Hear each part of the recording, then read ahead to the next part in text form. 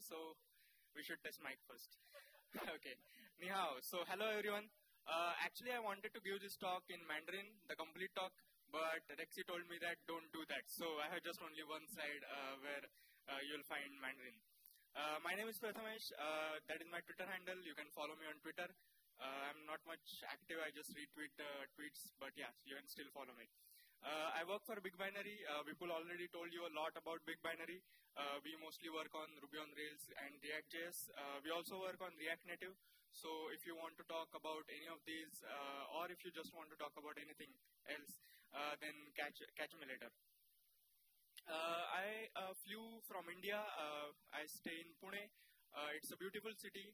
A lot of people here were talking to me and they were saying that we like Indian food. So if you want good Indian food, you should definitely come to Pune, and you'll really like it. Uh, and we also have a RubyCon. So uh, Deccan RubyCon, uh, this is the third year of this conference.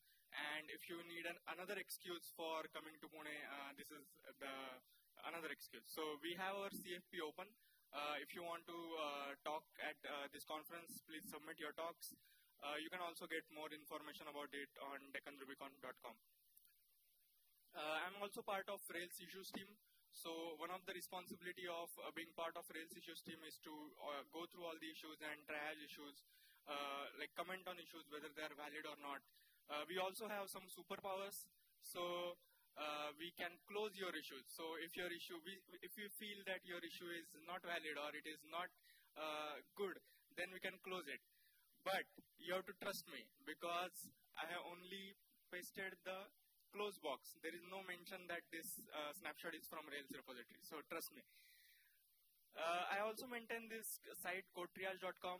So if you want to uh, get involved into open source and start contributing to open source, then if you subscribe on this site, uh, it will send you a daily email with all the uh, issues from your favorite repositories from GitHub and then you can go through those issues, uh, comment, maybe try to fix those issues. So if you want to get uh, involved in open source, uh, please check out this site and uh, open your account. So generally when speakers give talks, uh, they always mention that they have some stickers to give.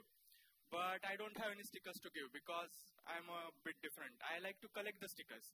So this is my laptop right? Uh, if you if if the people sitting in the front they can see my laptop, there are a lot of stickers, and I like to collect uh, stickers whenever I go to conferences. So, do you have stickers? I I like them. So if you have stickers, come to me and give give the, give those stickers to me. I also like T-shirts and other stuff. So everything is fine. Thank you. Uh, but even if I, I, I don't have any stickers, uh, I have something for you. So if you have any favorite open source contributors and if you want to say thanks to them, then I have some postcards for you.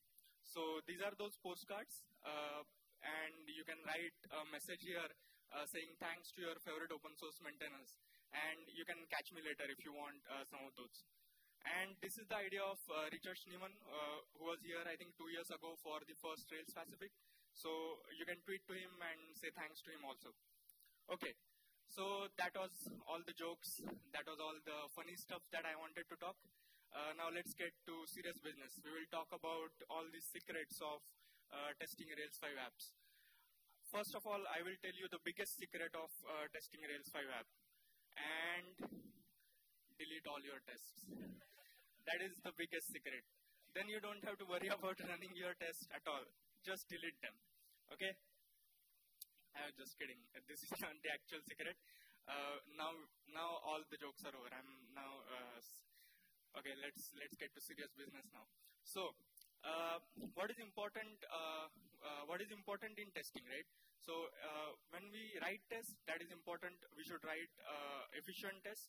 And then while we are running the test, that process should also be efficient. We should get proper feedback of our failed test. That process should be fast and uh, that feedback process should be in such a way that we can maybe reuse that information to uh, run test, uh, fail test efficiently.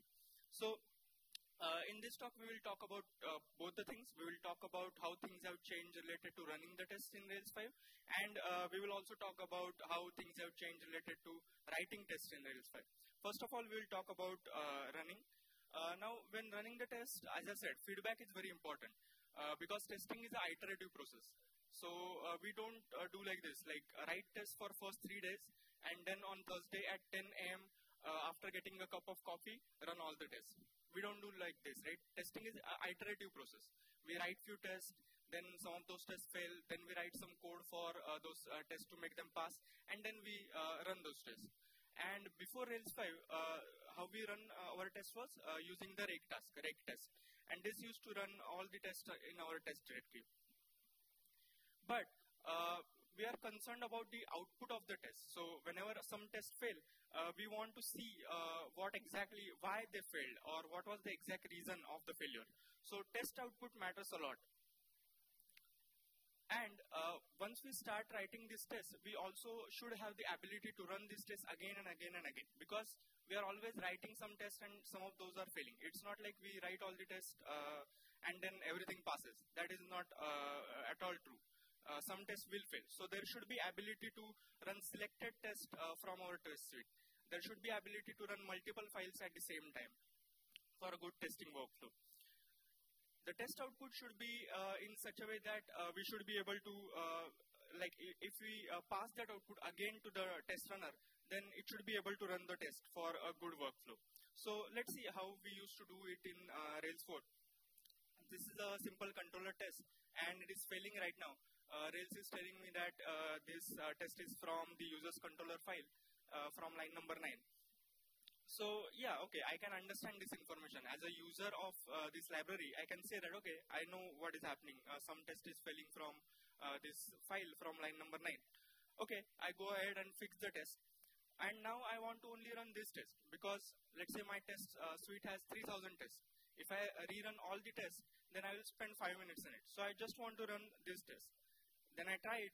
I just copy paste that uh, line and try to uh, run it on the console and it fails because uh, Rails is not able to understand how to pass this information. So if it was able to pass this information, then my workflow would be better because I would not spend a lot of time in figuring out uh, how to run a single test or uh, how to uh, or uh, in running all the tests. So what I expect from a testing library, I expect that it should show me what exactly failed it should also show me that quickly. I don't want to spend too much time in figuring out what exactly failed if, we, uh, if I uh, have a very uh, large test suite. Uh, ideally, if possible, it should also uh, tell me which tests are slow so that I can improve on those tests. But again, this is not really, uh, this is nice to have feature, extra add-on. We, even if it is not there, it is fine. But currently, we don't have any of these features. So uh, uh, if you use the uh, default Rails test stack before Rails 5, you don't have any of these features by default in your Rails application. But if you ask somebody, they will always say that it is possible. You should try more. It is possible because it is ultimately Ruby. It is based on the Minitest library. So if you know some of the internals of Minitest, how to pass arguments, if you know how to use uh, like uh, environment variables with your rake task, you can do this. You can have all of these features like how to run a single test and everything. But uh, the real problem is discoverability how uh, a, new person who starts with Rails, how he can find uh, very easily uh, to run a single test or to rerun multiple tests or to run a test from multiple files. If I run a search on Google, I will find thousands of results. But instead of that, if this uh, common feature was baked inside Rails, it will help everyone. Another issue is related to documentation. Uh, generally, if you see all the Rails command tasks, they are very well documented. But if you see the test uh, task, there is not much documentation. We just see that, okay, we can run all tests, we can run all tests quickly, and okay. There is nothing much I can get from this documentation. Compared to a simple Rails command, this gives me a lot of uh, documentation uh, with all the options, and uh, like it, it is very detailed documentation. So compared to this, the test output documentation is not very good. Also, uh, many libraries are trying to solve these problems because they are very common problems. There are a lot of solutions that are already available. So there is this uh, MaxiTest library which tries to solve the same problems. It provides all these features with some other features which are not part of Minitest. Then there is uh, mtestrunner which allows you to rerun your snippets by line and everything. So there are a lot of tools. So people recognize this problem. This is not like uh, only few people are saying it. People recognize this problem and they are trying to actually solve this problem. Uh, so uh, what Rails team finally decided is enough is enough. Now in Rails 5 we should make uh, our running test great again. So that was their uh, main motivation. And DHH uh, also approved it. So uh, if you can read this, I'm not sure it is readable at the end, but what he's trying to say is many libraries are trying to provide same solutions. So instead of that, we should just have it everything in the Rails. So that's why uh, Rails 5 has this test runner feature. So it will ship with a test runner which will have uh, all of these abilities. Now, uh, when you create a new app in Rails 5, uh, instead of running your test through rake task, you will have a new command for running the test, bin rails test. And it is a proper executable, so it can accept some arguments, it can parse those arguments, and uh, it, it, it, can uh, infer uh, whatever information uh, we are passing to it properly. So this is the simple example of running our test in Rails 5. We just do bin Rails test and it will show you like whatever, 7 runs, 12 assertions, 0 failures, and everything. So this output doesn't tell us uh, much right now, but we will see uh, how how it uh, how it is improved than the rake test runner we had before. So we discussed before, right? We need proper documentation. We need to know how to run tests, uh, and uh, we should know all the options that are available that our test runner is uh, able to accept. So uh, if we just do bin rails uh, t minus h, it will show us all the information. And this output is almost similar as uh, what we saw earlier from Rails new command. So yeah, it, it is improved a lot you can see specific things like how to rerun your snippets.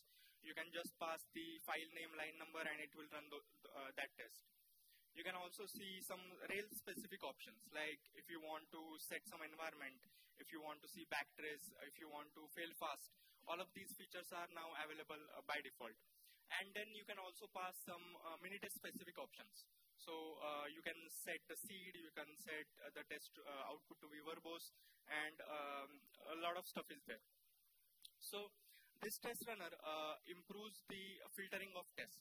Now it is able to pass the uh, test correctly and only rerun those tests which are failed, or only rerun a test from which files, from the files which we want to run. And yeah, rerun, rerunning the test is not possible now possible. So if I just paste that uh, command, uh, and this indicates that I want to run the test from uh, line number 18 of uh, my post controller test file, and then it will uh, only run that file. So if you see uh, at the bottom, it is saying one run, one assertion, one failures. So it has not run all the tests, only one test is run and it has also printed uh, the command for me uh, which I can use uh, when I want to uh, rerun this text, test again after making it pass. running multiple tests is also possible. We can just pass different file names and it will properly infer it. Uh, we can also pass different directories. So if your code is dependent on your models and let's say your uh, controller code, uh, you can run all the tests from those separate directories also. Another good feature is improved reporting of failures. So uh, reporting is very important because it can tell us a lot of things. Like uh, uh I discussed about uh, uh, getting information about slow tests. So if we have a custom reporter, then that reporter can store the time required for like how much time it was taken by your test, and it can show us the slow test at the end. So Rails uh, test runner also ships with a lot of features related to uh, uh, report, like having good failure output, uh, like fail fast, you can just pass minus f option and it will show you, uh, it will just stop after the uh, first failure. It will not run all the tests. Uh, you can see the backtrace. So by default, uh, Rails uses its own backtrace. It doesn't tell you uh, what, like it doesn't show you the whole backtrace of your exception. it, it shows you the trimmed down version. But sometimes it is needed, like the error is coming from some other gem. Then you want to see the whole backtrace. And in that case, uh, you just have to now pass minus b and uh, it will show you the backtrace. You can also see deferred output. So if you want to see all the failed test output at the end of your test run, you can just pass minus t and uh, it will show you uh, the output at the end. Uh, we also see colored output. So this is the most important change because colors are nice. So uh, now if we run the test and if some of the tests fail, uh, we will just see uh, the output in the red. And if the test passes, we will obviously see it in green. that emoji is not coming from Rails. I just pasted it. Okay. So uh, all of these features are actually uh, coming from Minitest. Uh, as we know, Rails test stack is based on Minitest library, and it heavily uses Minitest 5, which has a plugin architecture. And uh, using this plugin architecture, Rails is able to hook into uh, the Minitest testing library and provide some uh, top-level filtering capability and reporting capability. So for filtering, Rails has written a, a Minitest plugin, and then they have a custom reporter for showing you all the colored output, fail fast, and other stuff. Now you must be wondering, right? Uh, if I just use RSpec, then I don't have to worry about any of this. I, I already have these all of these features in Rails 4 also. So obviously, yes, uh, uh, nothing is new here. Everything was there in separate libraries, but now it will be part of uh, Rails 5 as a default stack. So uh, uh, it, it, got inspired from these libraries like RSpec, Minitest Reporters, uh, MaxiTest, uh, M, and a lot of other libraries. So now the good thing is it's just part of Rails. So you don't have to install any of the gems. Just install, uh, just create a new Rails app or upgrade your existing Rails app, and uh, you will get all of these features for free. So this was all about uh, how things have changed related to running the test, and now it is time for a break. So yesterday uh, we had a lot of food. We had durian, stinky tofu, and a lot of other food that can't fit in in this slide also. So thanks uh, Junito for giving us a ride in the night market. Uh, the food was really great. Okay, so now uh, we will talk about the second part of the talk. We will talk about how to ex exactly write tests. Uh, and there are a lot of changes related to how uh, Rails is recommending us to uh, write our tests. So we'll discuss all of those. Now, um, if we consider uh, Rails tests, uh, there are three parts like unit test, functional, and integration tests. Uh, there are not uh, changes in unit test at all uh, in Rails 5, so they will continue to work as it is. So there is no change, no need to worry about them. but there are a lot of changes related to our functional and integration test. So we will discuss those in more detail. Specifically, we want to discuss controller tests because functional and integration are sort of uh, like they they lie on the boundary of controller tests. So uh, we want to discuss uh, controller tests in more detail. Now, uh, many of you must have written a lot of controller tests. What do we actually test in a controller test? What do we actually test? So, what do we actually test is uh, we test the request, uh, the incoming request that uh, the controller receives, and then it renders some response. So uh, we, we uh, the output of the controller is the response that is rendered. And that's what we test. We, we, we test uh, whatever the uh, response that uh, comes out of uh, that controller action. So this is the typical test case for Rails 4. And as we can see, we are just making a create request for creating an article. We are passing all the params. Uh, then we are verifying that it got redirected to uh, correct article path uh, with whatever article uh, that we passed. So, uh, but one more thing that we are testing here is assert difference article count. So I, I said that we only should test whatever comes out of that request, right? and the, whatever comes out is the response, which got redirected to some other page but it also allows us to test uh, these side effects, like uh, how my database was changed due to this uh, particular request. So we don't really test uh, the actual response, but we actually uh, test the uh, state, whatever state that was affected by this particular request. And this state can be anything, like it can be the controller's response, but it can also be some database related changes, like uh, you added one record or you uh, removed one record. Uh, the beauty of controller tests is they're very easy to write. you just do like post, create, pass the params, and everything works as it is and they're comparatively fast also. So writing them is also fast and running them is also fast. But they have a problem. Uh, they actually lie. Now what happens in case of uh, these functional controller tests is uh, Rails sort of bypasses the actual request flow. So if you consider a, uh, normal request, what happens is the request comes, it hits uh, the Rails application stack, then it uh, the routing uh, gets involved, uh, route gets passed, then it passes that to controller action, and then response get generated. But in case of functional controller test, this request flow is not followed. So what here Rails is internally doing is, it is directly calling this create action. So there is nothing uh, uh, like involved related to how this request gets passed by router, nothing. Just call the create uh, method from my uh, articles controller directly. So it doesn't follow the normal request flow and that's why they sort of lag. So if your uh, code is dependent on some middlewares, your functional controller test will not be able to understand that code because no middlewares are involved when running this test. And uh, that's where integration tests come into the picture because uh, they go through uh, all the middlewares. They follow the same, uh, uh like they simulate the same process that happens when we make the actual request to, to our Rails app. So this is a simple integration test which tests the same thing, creating an article. But instead of hitting the create action, we are actually hitting the article's URL.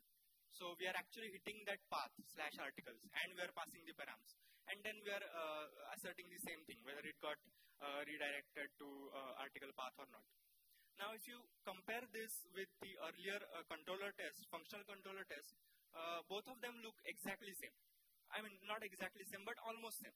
Uh, we are testing the same thing. We are testing whether you got redirected uh, to a new article or not.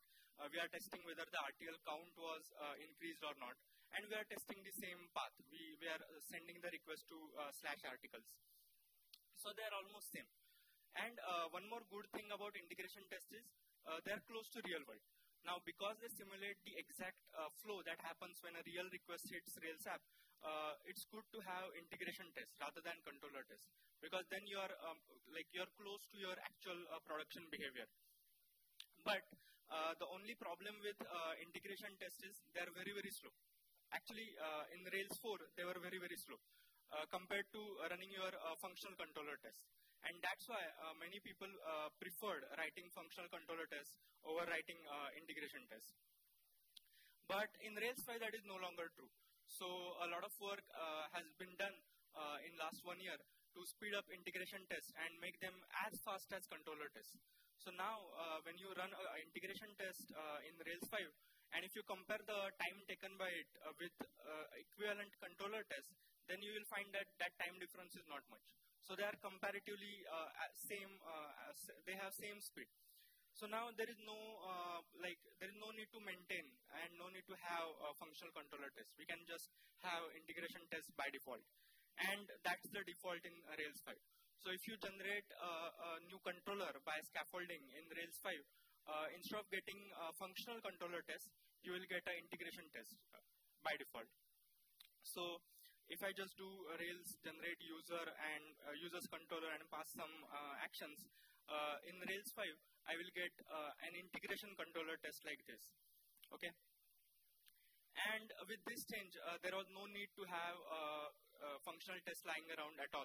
So Rails 5 has also soft deprecated functional controller tests. Now, when I say soft deprecated, that means is they are not completely removed, but whatever you get by default in a newly generated Rails app is uh, integration controller test. Now, uh, you will have a lot of uh, old functional style tests in your test app, and if you are upgrading to Rails 5, uh, you don't have to worry because those tests will continue to work as it is. So, it is not completely removed from Rails. Uh, they will still continue to work. But what, whenever you generate a new resource, uh, you will get integration style tests. And uh, the old tests uh, which were generated from this uh, action controller test case, it, that code base is present in 5.0 release. Uh, but it might be extracted into 5. Point, uh, it, it might be extracted into a gem uh, in future versions of Rails.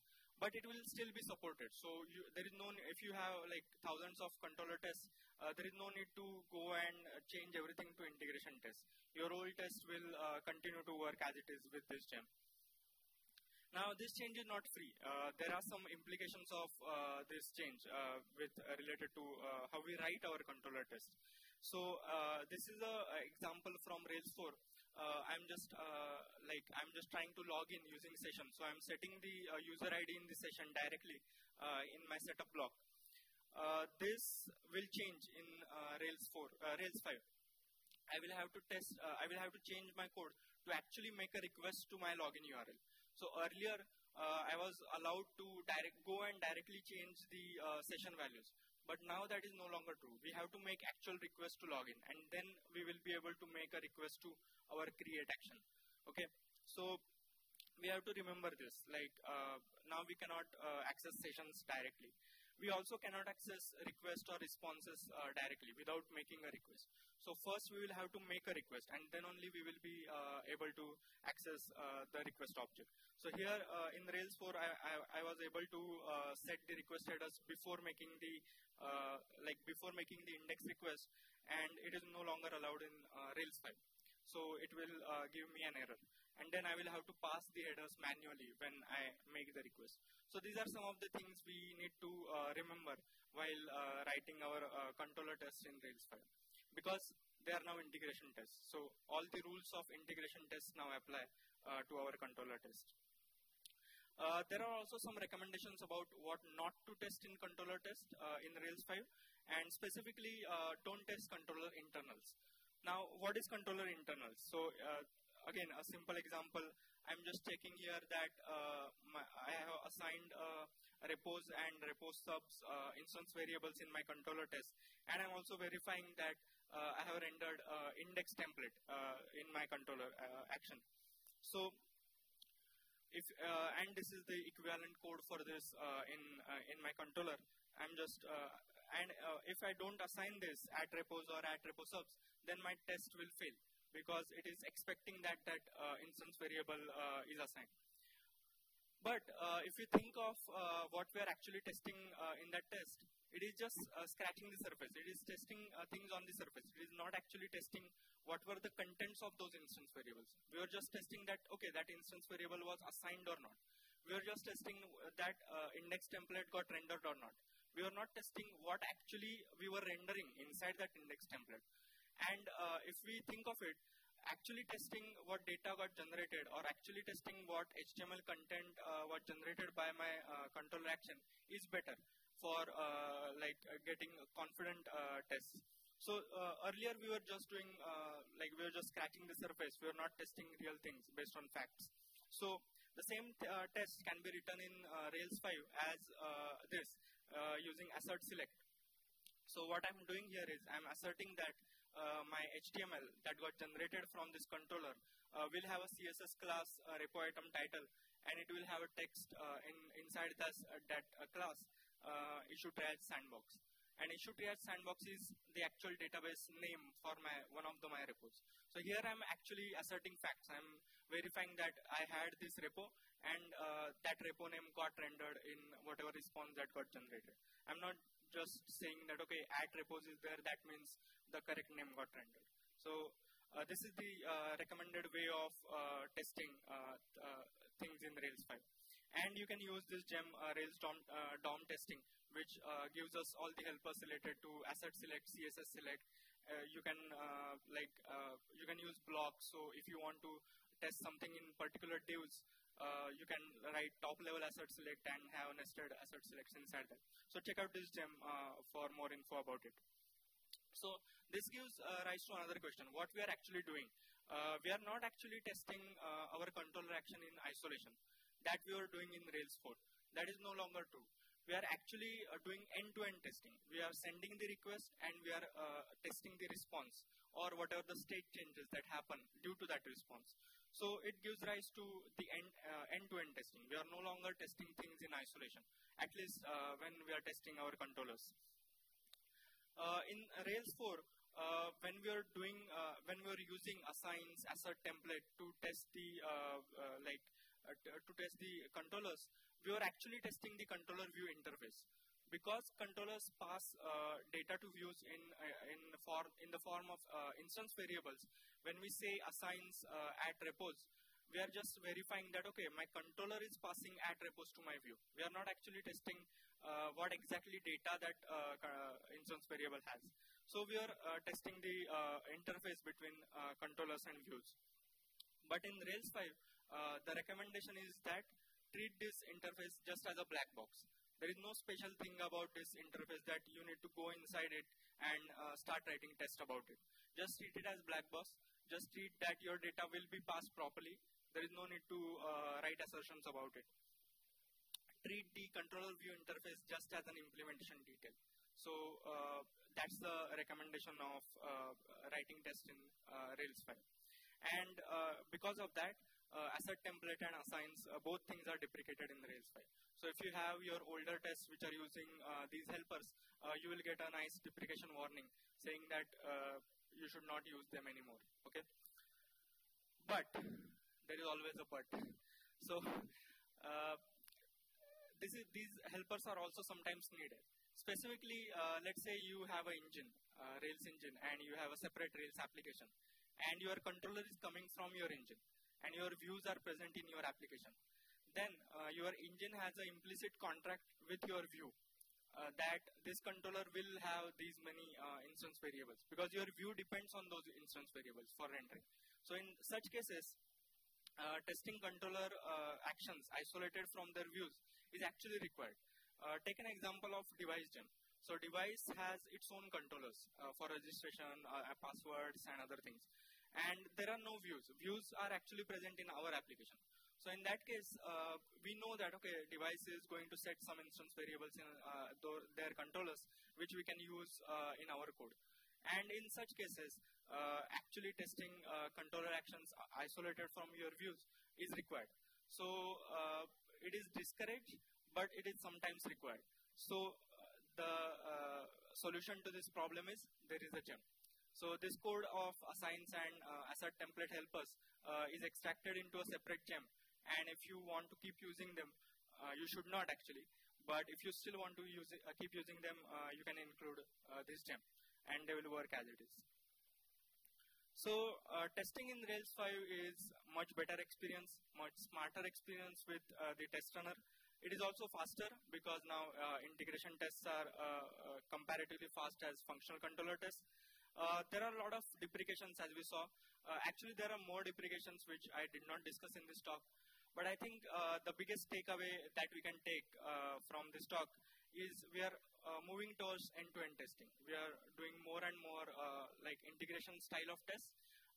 the helpers are at the basic level right now but maybe in future we can get something like Capybara helpers integrated into Rails. I don't know. But I think if we talk more about it and discuss more about it, uh, we, we will uh, get some more nice solutions uh, built on top of what we have right now. Because uh, when we talk about testing, we always talk about tools. What do you use, RSpec or Minitest? Oh, use, use RSpec then don't talk to me. I use Minitest. But actually, uh, we should talk about what testing strategies we use. Because I think if we start talking about uh, strategies, then both the uh, tools will be, uh, will uh, benefit from it, and everybody will be happy. So, yeah, there is much more than this. I, I did not cover a lot of things like active job async adapter, random test ordering, so if you want to know uh, more about what is happening in Rails 5, uh, Vipul already showed you the link, but I'm going to show you again. Uh, check out our uh, blog series about Rails 5. So it has uh, like small blog posts uh, about new features that are coming in Rails 5. we have around, I think, 40 to 45 blog posts right now. other than that, if you want to know what happens in Rails in each week, you can check out this newsletter, This Week in Rails. Uh, it was started by Godfrey, uh, Uh, but now there are a lot of uh, co-editors which uh, edit the newsletter every week.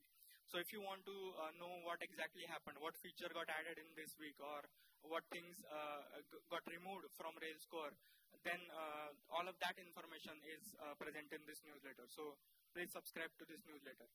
Um, and that's it. Sheshe, thank you. You can follow me on Twitter. So the question was about uh, when we test uh, uh, uh directly generated HTML, then we are coupling our controller to view. And uh, the answer to this is now uh, we were like we were always thinking like controller and view are two separate things. So controller gets a request, it prepares some data for the request, it maybe adds something in database, and a view gets rendered. But what Rails team is trying to encourage is controller and view are the same thing. Consider view as uh, maybe as a private function of your controller and treat everything uh, like whatever that comes out from that controller is the actual response, not uh, what uh, instance variables uh, we assign or what template we are trying to render. The output of the controller action is what is coming out of that controller, which is the uh, generated response. Right. So uh, the question is, if you have HTML, uh, like if you are supporting HTML requests and JSON requests also, how you, how you will handle that? So in that case, there is an addition in Rails 5 uh, related to setting your uh, like uh, like the request helpers that we have, get, post, patch, delete. They all understand now uh, JSON request by default. So you can just pass as JSON and it will treat it as a JSON request. So the response that will come out of that request will be uh, JSON, uh, like JSON data. So you can uh, write uh, assertions against uh, that JSON data. So you can write one test for your HTML and one test for your JSON. And you can have two different requests. One will be HTML request, one will be JSON request. Okay, thank you.